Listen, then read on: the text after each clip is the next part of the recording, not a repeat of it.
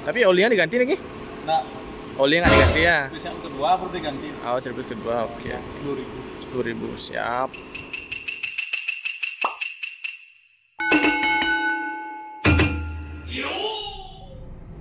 Halo YouTube, balik lagi di Pak Tua Hari Channel. Kali ini Pak Tua akan pergi ke dealer Mitsubishi terdekat ya untuk melakukan servis 1000 km. Karena ini juga umurnya sudah satu bulan ya.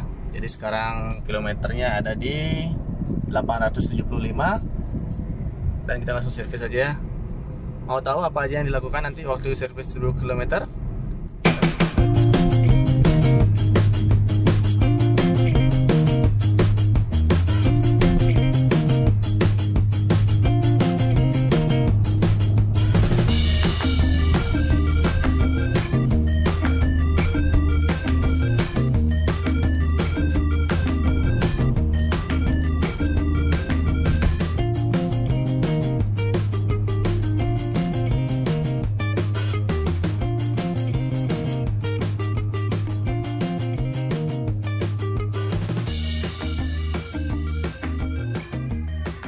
Sekarang ini kita tunggu dulu di ruang tunggu.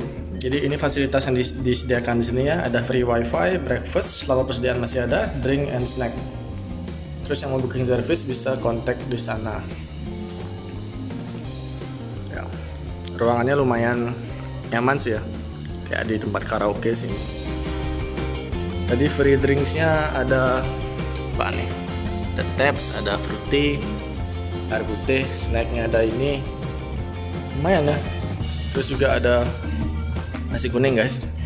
Ada bakpao dan kopi. Motor eh motor. Mobilnya lagi di sana ya di bawah situ.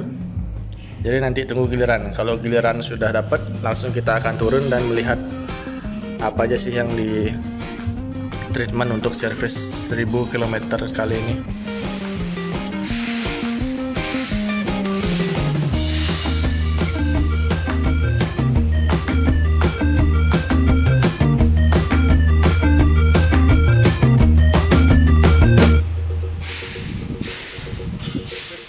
1000 km yang dicek pertama adalah akinya ya. Apanya lagi dicek, Li? Di filter udara, Oh, dikecilkan, filter udara, terus ya kan? ditambah kekurangan Oke. sama air wipernya, Air wiper juga nggak ya? ya, minyak rem, semua oli mesin. Tapi olinya diganti lagi? Nah, Oli nggak diganti ya? yang kedua baru diganti Oh, servis kedua, oke. sepuluh ribu. 10.000 siap.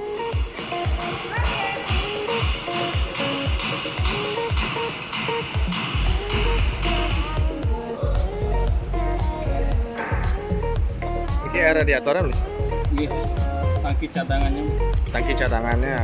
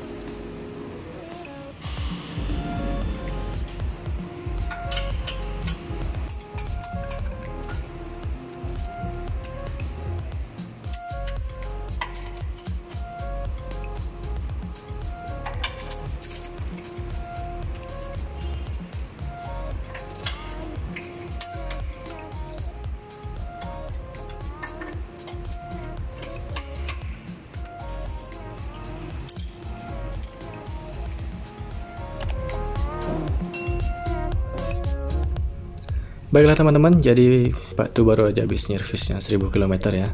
Yang dilakukan ternyata hanya mengecek ruang mesin, kaki-kaki mobil dan juga bagian kolong-kolong bawah mobil. Dipastikan semuanya berfungsi secara sempurna dan kita bisa bawa mobilnya pulang kembali. Nanti disarankan kembali pada kilometer 10.000 atau 6 bulan berikutnya dengan penggantian oli dan servis mesinnya juga. Segitu aja untuk vlognya kali ini. Vlog nextnya Pak Tu akan buat tutorial cara mengganti klakson standar di expander cross dengan klakson keong ya. Jangan lupa untuk like dan subscribe video ini supaya Pak Tu lebih semangat lagi untuk berkarya dan membuat video-video lainnya buat kalian.